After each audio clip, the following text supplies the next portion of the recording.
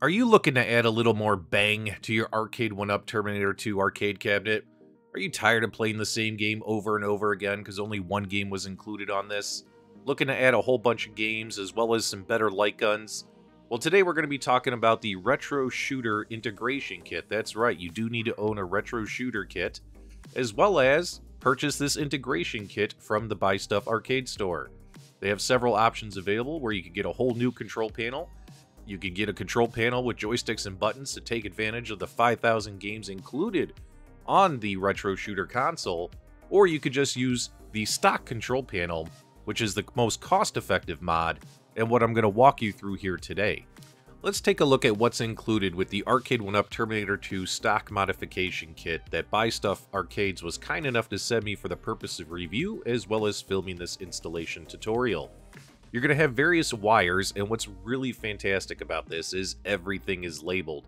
And it's not only labeled, it's also color-coded labels, so you know what plugs into what. Green plugs into green, red plugs into red, blue plugs into blue.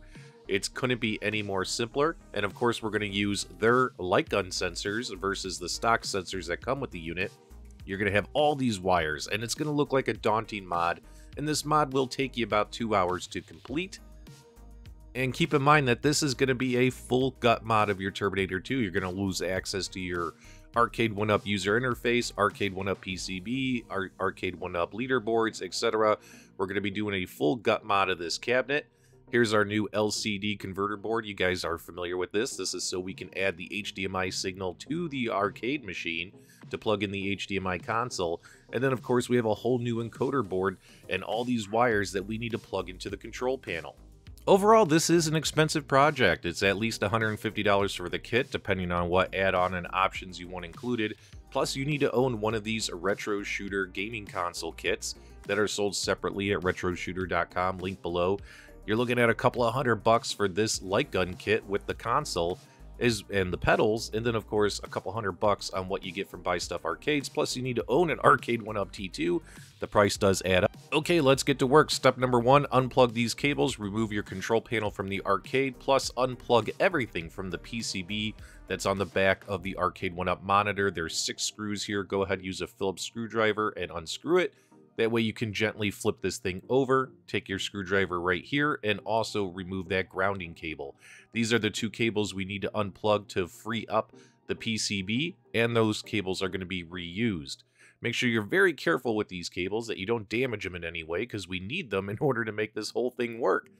Grab the new LCD HDMI driver board here, and screw this into existing holes on the back of the monitor, right there at the top left and right corner easy peasy. You're going to reuse the same screws that were holding in your Arcade 1-Up PCB.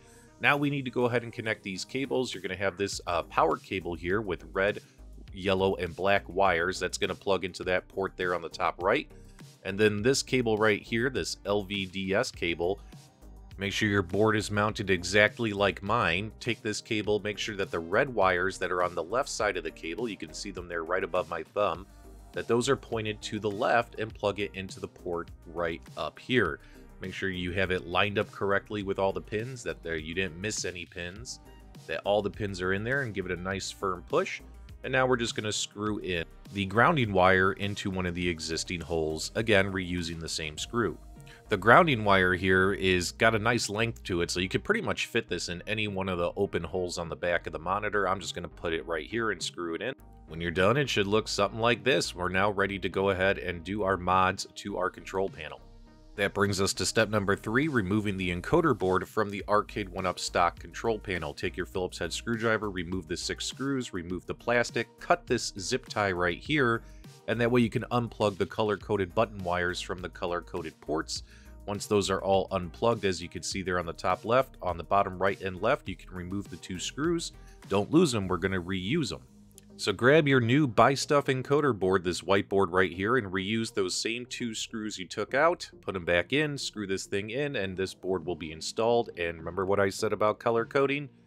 As you can see here, we have color-coded ports where these colored wires are going to get plugged in next. Okay, let's wire everything up. Grab the three-prong cables that are coming out of the volume and power switch and go ahead and plug those into the ports labeled volume and power on the encoder board. Then the buttons are pretty easy because you're just going to go blue to blue. That's for your A button, which is right there, that live button. That's going to become an A button. I'm going to put these stickers here for up, down, as well as for the A button. And that way, when we go back here to do our colors, we're doing green to green. We're going to do uh, orange to down, and we're going to do yellow to up. So this way, we have up, down, as well as an A select button being used on our encoder board. Now plug the Player 2 start button, which is a gray cable, into the black port on the encoder board. Also plug in the 3.5mm audio cable that came with the headphone jack cable that came with the Buy Stuff kit into the white port on the board.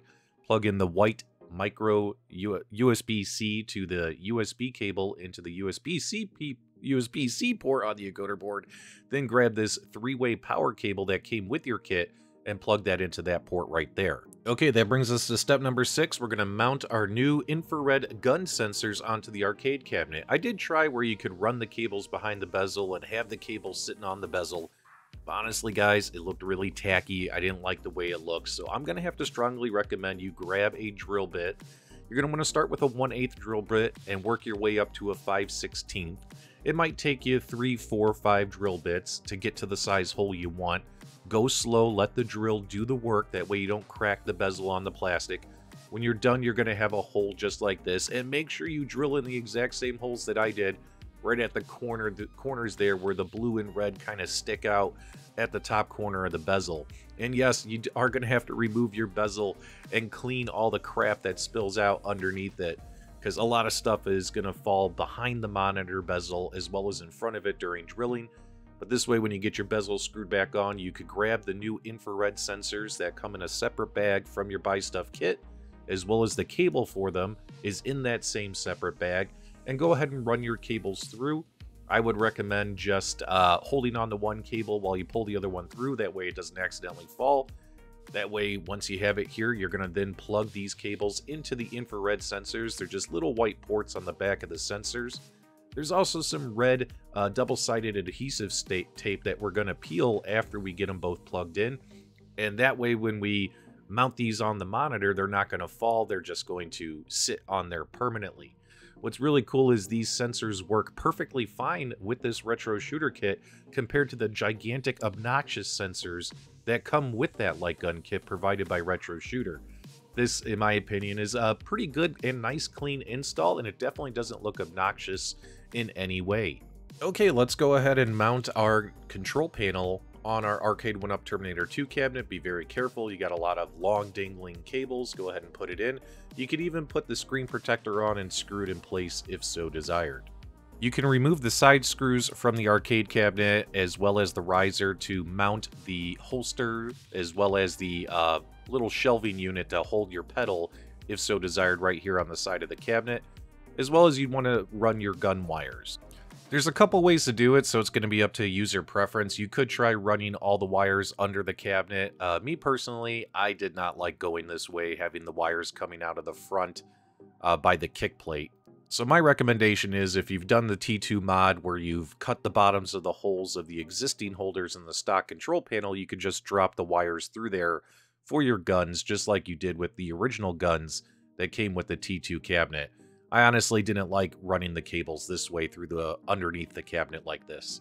So my suggestion here is if you've cut out the bottom of the holsters to run your original Arcade 1-Up T2 light gun cables through there, do the same thing here. Yeah, it sucks having wires hanging out like that, but it works.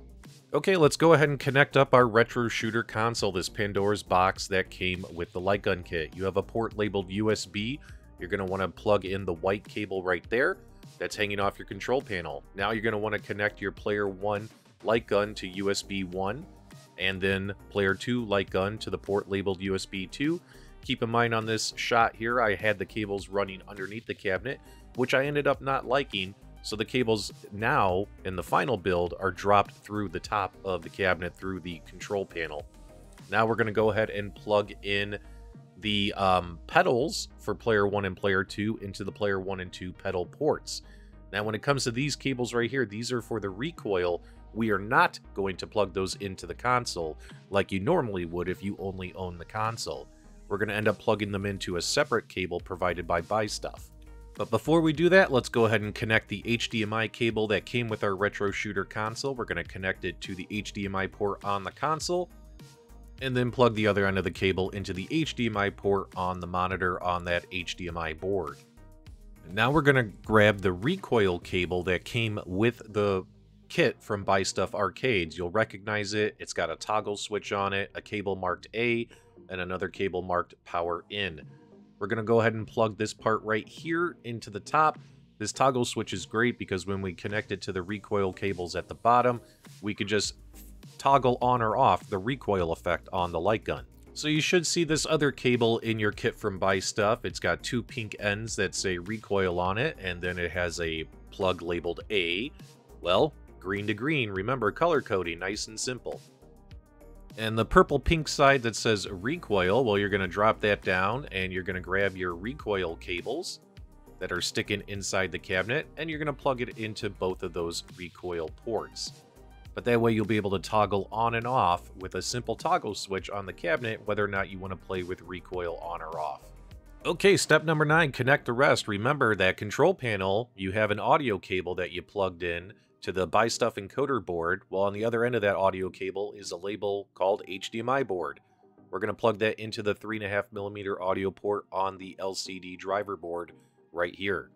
Also, you'll have another cable dangling inside your cabinet from your control panel labeled marquee. And what do you think we're going to plug in there? That's right, the marquee cable for your light up marquee. That way your marquee will turn on and off with the cabinet. But what about the speaker cable that's dangling down from your stock T2 speakers? Well, you're going to want to plug that into the little cable that's got a green end on it that's labeled speakers. Couldn't be more simple, guys. I love the fact that Buy Stuff has everything color-coded and labeled for you, so it's going to be really hard to make a mistake here. But this way, the marquee as well as the stock speakers work with this modification. Okay, you're going to have one last cable that came with your kit from Buy Stuff Arcades that you haven't used yet. And what do you know? It's labeled appropriately.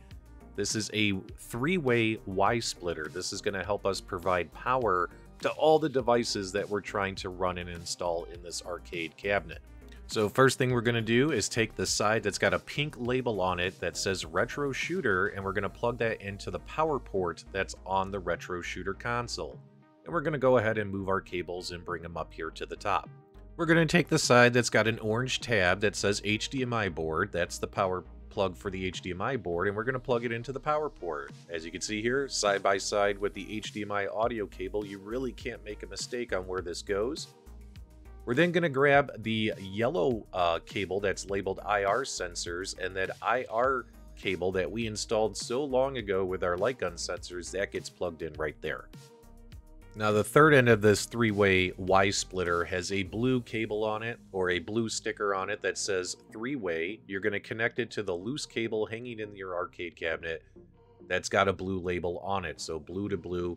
You can almost barely catch it on camera here. My apologies, I missed it, but it's the blue to blue cable, and all those connections should be complete. Now at this point, everything should be plugged in except for these two cables right here. These two cables are what's going to power everything. You're going to need two power supplies to make this happen. The original power supply that came with your Arcade 1-Up Terminator 2, as well as the power supply that came with your Retro Shooter console. I'm going to go ahead and plug in the Arcade 1-Up power supply into the cable that's coming off of the inside of the arcade cabinet. And then I'm going to take my Retro Shooter console power cable and I'm going to plug it into the other power red sticker cable. And this is for that toggle switch for the recoil. So to make sure the system doesn't get overloaded, the Retro Shooter power supply powers the recoil effect, and the Arcade 1-Up power supply powers everything else. Monitors, speakers, sounds, light guns, pedals. At this point, you could go ahead and power it up, and everything should turn on, your marquee as well as the console and your monitor and your speakers. Remember, there's no sound in the main menu, so don't panic. There's only sound when you're actually in a game.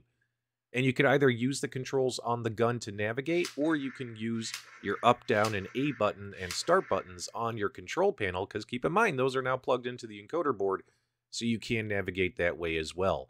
Don't forget you can hold down the player one start button on either the gun or on the control panel itself to enter the calibration mode, as well as to turn crosshairs on or off.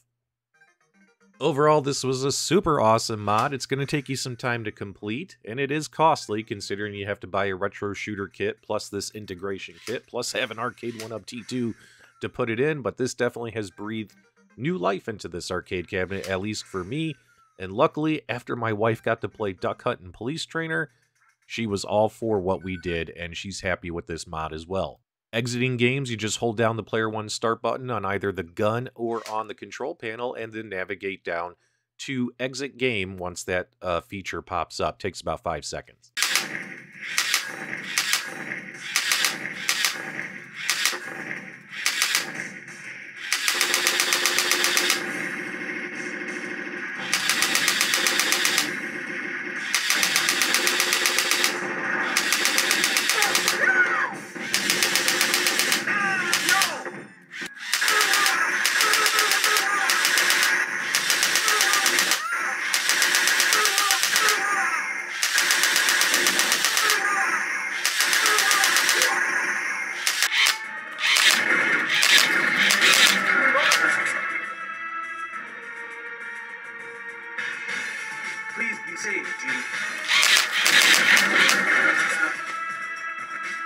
How could anyone do this?